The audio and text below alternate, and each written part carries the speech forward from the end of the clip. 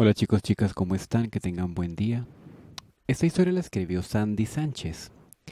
Y bueno, dice, ¿qué habría sucedido si Anthony no hubiese muerto ese día? Por Sandy Sánchez. Si eso se descontrola, chicas, ustedes me apoyan. Un abrazo. Si llega la chica Sandy Sánchez y me dice, oye, Simar, no quiero que esté mi historia, yo la quito. No hay ningún problema. Aquí está la historia de Sandy Sánchez. Y si Sandy Sánchez me estás escuchando, bienvenida. Y si quieres y gustas, puedo leerte más historias. Capítulo 1. Anthony, ¿dónde estás? Ese día en la presentación de Candy como parte de la familia Andri, se llevaría a cabo una cacería de zorros, un evento donde se reunía la alta sociedad para hacer alarde de sus habilidades de asesinos con los pobres animalitos o al menos eso era lo que pensaba Candy, de tal acontecimiento. Candy no podía sacar de su mente a una adivina advirtiendo un desenlace fatal cuando fue con Anthony al pueblo. Desde entonces sería por su gestión o demasiada imaginación, ella sentía una opresión en su pecho. Al mismo tiempo deseaba fervientemente que ese día pasara sin ningún percance, haciendo a un lado cualquier presagio o pensamiento de desgracia. La carrera por la cacería de zorros comenzó. Anthony deseaba lucirse delante de Candy, que ese día, por cierto, lucía hermosa en su atuendo de jinete. Llevaba el caballo recogido, el cabello recogido en una coleta sencilla, y el pantalón se ajustaba mucho a sus formas femeninas que empezaban a cambiar con la adolescencia. ¿Sabes, Candy? Quiero ir contigo a la colina Pony. Te prometo que un día iré contigo. He estado recordando sobre lo que dijiste acerca de tu príncipe. Creo que tengo idea de quién se trata. Cuando yo era muy pequeño había un chico... Él siempre estaba junto a mi madre, pero por alguna razón él no convivía conmigo. Cuando yo llegaba, él se iba. Y por ser yo tan pequeño, no le presté atención a eso. Hasta ahora que lo mencionas. Era muy parecido a mí. Hasta podría haber sido mi pariente, ¿no crees? Candy. En ese momento Anthony emprendió el galope para atrapar y cazar un zorro que estaba tentadoramente cerca. Anthony, gritó Candy con un tono de desesperación y terror al ver que Anson iba demasiado rápido. Lo que ocurrió después fue, fue grabado por la mente de Candy. Así. Fue gra fue grabado fue grabado por la mente de Candy como en cámara lenta.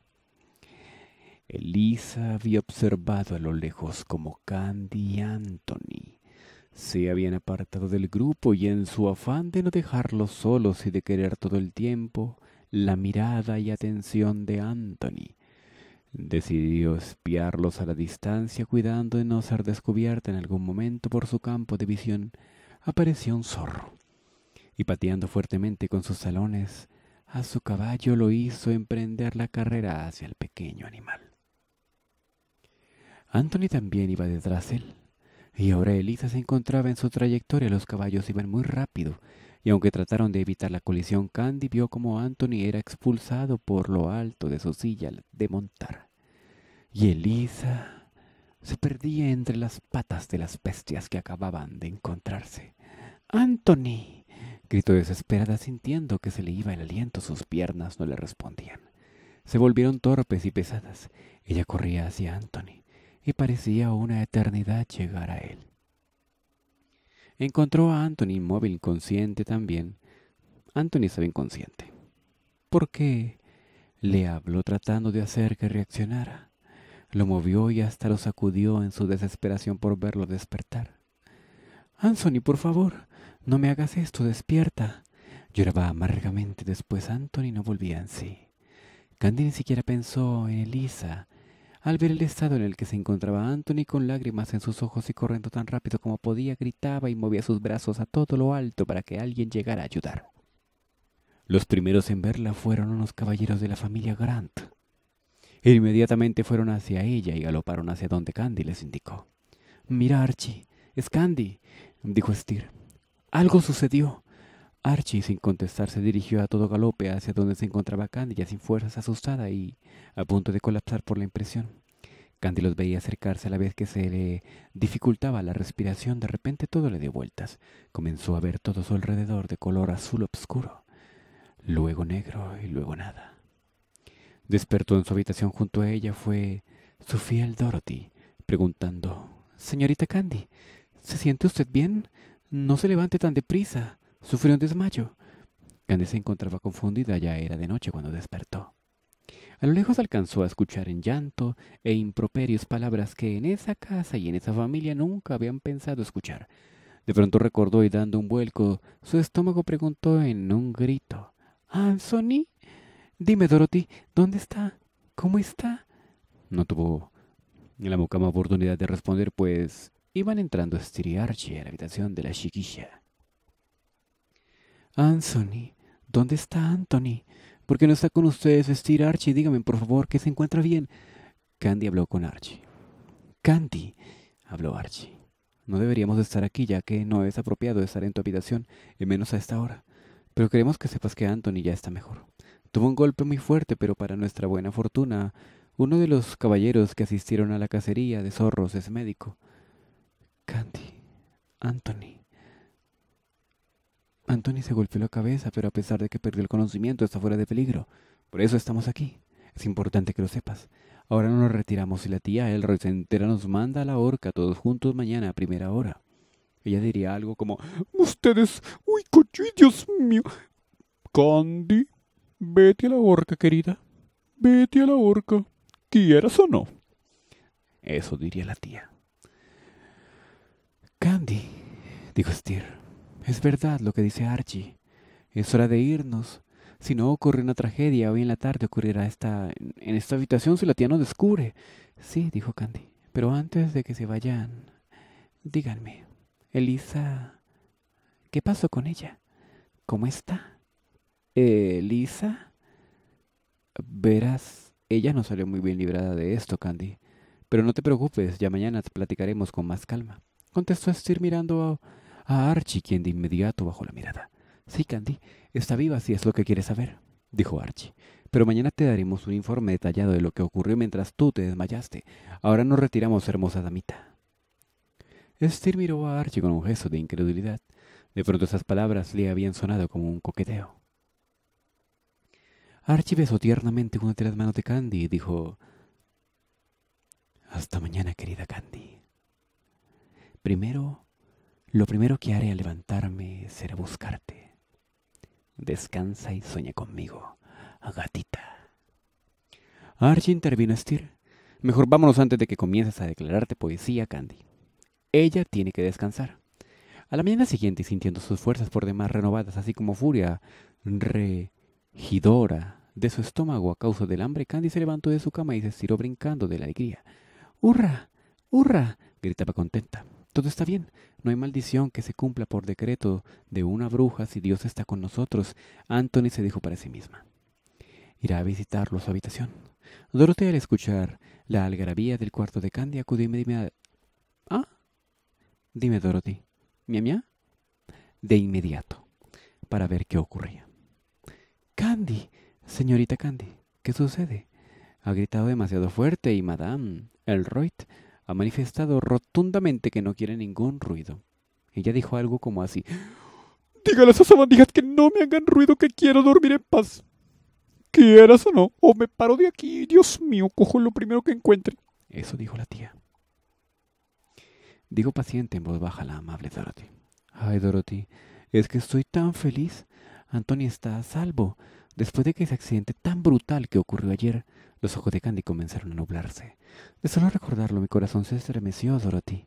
Si algo le hubiera pasado a Anthony o Steve o Archie, no lo habría soportado. Ellos son mis familias. Son quienes se han preocupado por mí y me han dado su apoyo, aún en contra de los Ligan. Por eso agradezco a Dios que todo haya quedado en un mal recuerdo, si tan solo no se hubieran festejado esa carrera. Oh, Dorothy, es mi culpa si no se hubiera realizado esa absurda cacería para presentarme como nuevo miembro de los Andri, nada de esto habría sucedido. Calma, señorita Candy. calma, por favor. Tú lo has dicho. Gracias a Dios todo ha quedado en un mal recuerdo. No debes culparte por ningún motivo. Vamos, la tina ya está preparada para que tomes un baño. Y me señales qué quieres vestir hoy. Hay dos caballeros esperando por ti para desayunar. ¿Me están esperando y yo aquí tan descompuesta? Oh, Dorothy, ayúdame a estar lista lo antes posible, por favor, dijo Candy ansiosa por ver a sus queridos amigos, pero en especial a Anthony. Dorothy, ¿crees que pueda ver a Anthony? Necesito verlo, tomar sus manos y hacerle saber que estoy con él. Preguntó Candy. No lo sé, Candy, pero trataré de ayudarte para que entres en su cuarto. Eso sí, debemos evitar que Madame Elroy se dé cuenta. Tú sabes cómo se puede poner ella. Mm, ¿Cómo se pondría? Dios mío, ustedes, ¿qué está haciendo aquí con Anthony? Uy, páseme la escoba. Páseme la escoba, Dorothy, que la voy a agarrar a...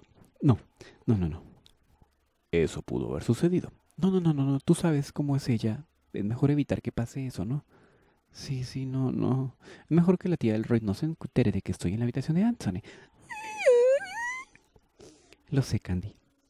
Pero trataré de ayudarte para que entres en su cuarto. Eso sí, debemos evitar que Madame Elroy se dé cuenta, porque si se entera habrá problemas. De acuerdo, asintió Candy. Después de ponerse de pie los dos jóvenes y recibir a Candy para almorzar, no pudieron dejar de percibir la angustia de ella. Steer comprendió que todo era debido a que Candy no había tenido oportunidad de ver a Anthony. La plática llegó a un momento incómodo cuando Candy preguntó por Elisa. Archie, si mal no recuerdo, dijiste que hoy me darías un, un informe detallado sobre Elisa. ¿Qué sucede con ella? ¿Qué es lo que ocultan? Miró uno de los rostros serios de aquellos jóvenes que ya miraban el mantel. O jugaban con la cuchara del té o tamborileaban sus dedos en silencio tenso en aquellos cuestionamientos. Candy, contestó Archie. Sucede que Elisa no va a tener recuerdos nada gratos del accidente de ayer. Te lo diré, pero quiero que conserves la calma y que por ningún motivo te sientas responsable de lo que ocurrió. Hoy escuché sin querer cuando pasaba por la puerta de tu alcoba como le decías a Dorothy que todo esto era tu culpa y no es así. Elisa se encuentra seriamente lastimada de su cara. Cuando se dio el choque con Anthony quedó atrapada debajo de su caballo. Las personas que llegaron a ayudarla sacaron viva, pero muy lastimada. Tan es así que ella no pudo quedarse en la mansión a atenderse. Tuvo que ser ingresada a urgencia de un hospital. Ella tiene una herida en el rostro muy grande, al parecer por una de las herraduras de alguno de los caballos. La cicatriz que le quedará en el rostro le dejará el recuerdo de la cacería de zorros para toda su vida. Archie exclamó, Candy manera de regaño, no creo que sea la manera de hablar sobre un accidente tan penoso para Elisa. Estoy de acuerdo contigo, Candy, opinó Steer. Pero tampoco olvidemos que Elisa se ha encargado de hacerte la vida imposible, y eso, mi querida Candy, disminuye bastante la pena que podamos sentir por ella. Archie dijo mirando a Candy tomando su mano.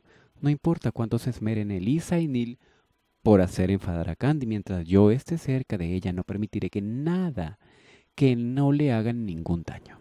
Ahí estaba nuevamente un sutil coqueteo de Archie para Candy. ¿Sería que estaba tomando ventaja de la convalecencia de Anthony para acercarse a la chica? No, su hermano no era así, pensó Steer. Pero por si las dudas, lo aclararía con él.